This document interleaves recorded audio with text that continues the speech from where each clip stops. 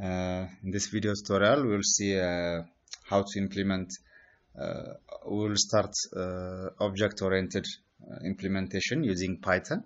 So in this very uh, video, we'll see what's object-oriented concept. So in the upcoming videos, we'll see how to implement this concept.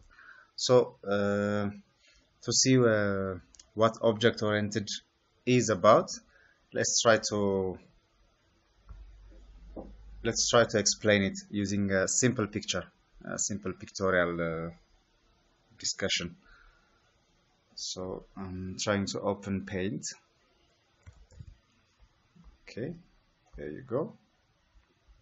So when we say object-oriented programming, which means we are uh, using classes and uh, class instances. Okay, when we say class, which means uh, a representation. Okay? Like we have a class called cars or car. Okay? Now car is a very generic term. We have a different type of cars. Okay? Different model different engine uh, and different uh, fuel type cars. Okay? So when we say car it's a generic type. Okay. We have a different class let's say person. Person is also a class. It's a generic name. Person has a property of full name age gender height weight okay location or citizenship. All of these are class properties we call them attributes.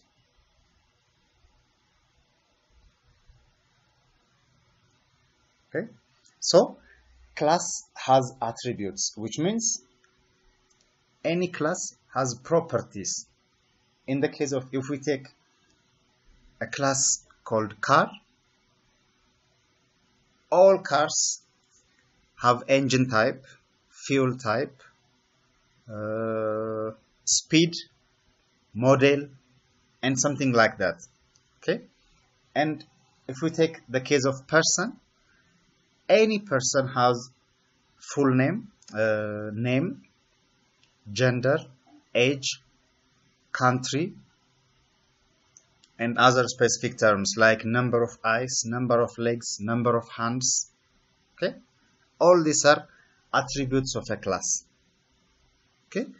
So whenever we want uh, we want to write some uh, complex application or complex program, we prefer to represent uh, our code or we prefer to group our code in classes, different classes. Then we can use or we can create instances, okay, instance of a class. Let's say we have a class called person. So person has property of name, age, gender. Okay. Now, when we create an instance of a class called person, we'll have a specific name for that instance. Let's say name is mm, John age is 20 and gender is male. Okay? Now we are providing specific values to those attributes which means if we provide specific values which means we have an instance of that class. So we create an instance of person class and we provide values for the class attributes okay? So class has attributes. If we create an instance for car we have to provide type or model of the car engine type fuel type speed and other parameters of a car or other attributes of a car or other uh, values that we use to identify different type of cars okay we call them attributes in our object-oriented programming. So we have another concept here other than attributes. We have methods in class. Um, let's clear our screen.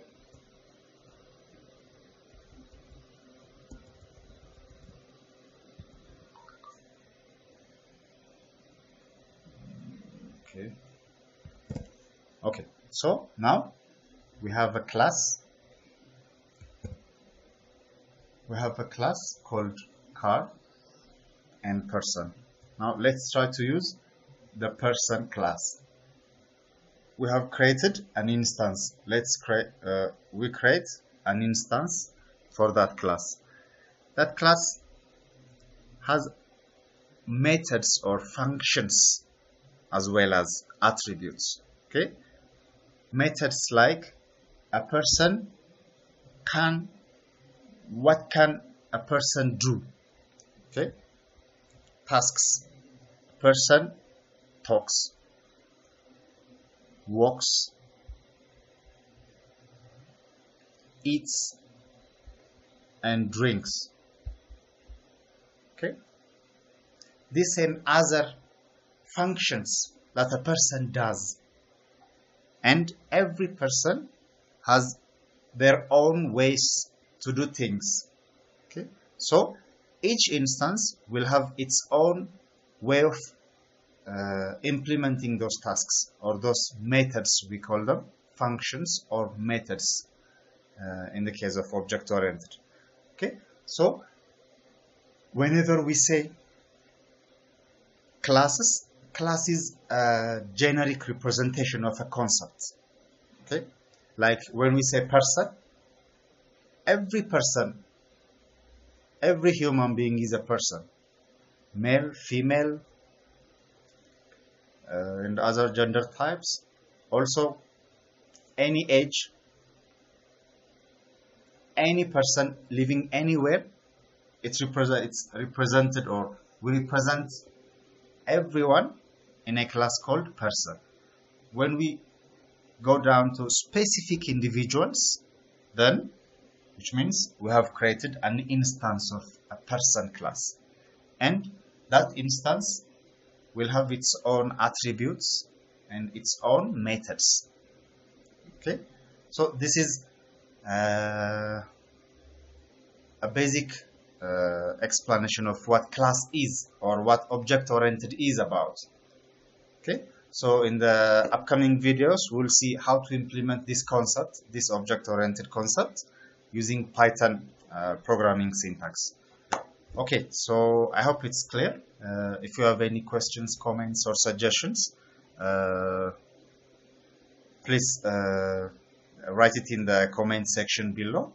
Uh, and also don't forget to, don't forget to subscribe to our video if you haven't done it already so that you'll get uh, notifications about our upcoming uh, videos. Thank you very much for watching.